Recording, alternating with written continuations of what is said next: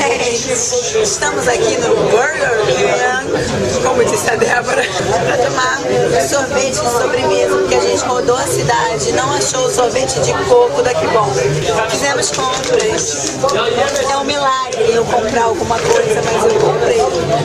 Estavam, foram coisas bonitas e felizes. A minha voz, como vocês podem perceber,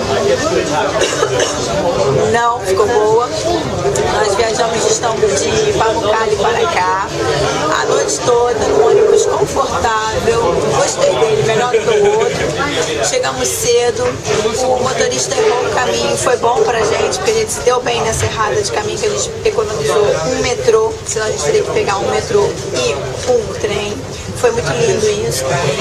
E aconteceu uma coisa triste. Pés, não filma não, por favor. Ficaram muito, muito inchados. Não, não. Não mostra.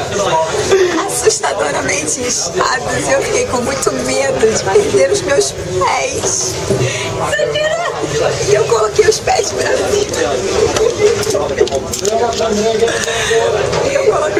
Pés pra cima pra ver se eles baixavam, porque eu pensei em morrer na Turquia sem os pés.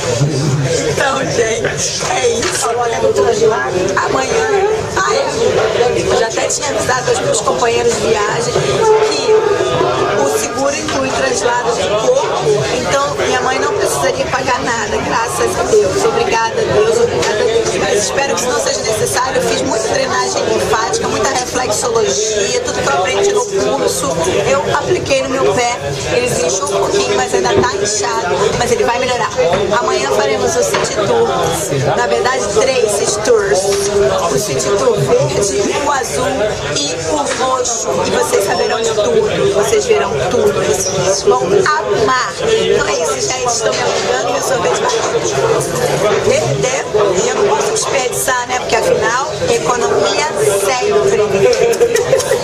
Bebé y yo.